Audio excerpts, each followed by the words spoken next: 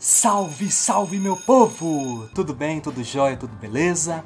Professor Carlos César Iga de Sociologia, passando aqui para deixar duas dicas de Sociologia para você que está estudando para o Enem, para você que está nessa luta em busca dos seus sonhos, em busca dos seus objetivos.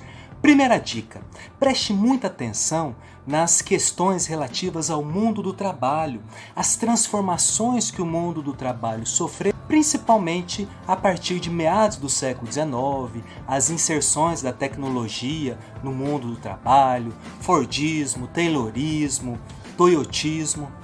Segunda dica: tema, um tema muito importante que é sobre cultura cultura material, cultura imaterial, a importância né, das, desses, desses dois tipos de cultura para a formação de uma sociedade e também o patrimônio histórico artístico nacional, a importância de se preservar esse patrimônio como algo relacionado à memória e à formação de um povo. Certinho? Pegou as dicas? Continue no estudo, continue na luta e pode ter certeza que seu esforço será recompensado. Aquele abraço, fique com Deus e até a próxima. Tchau, tchau.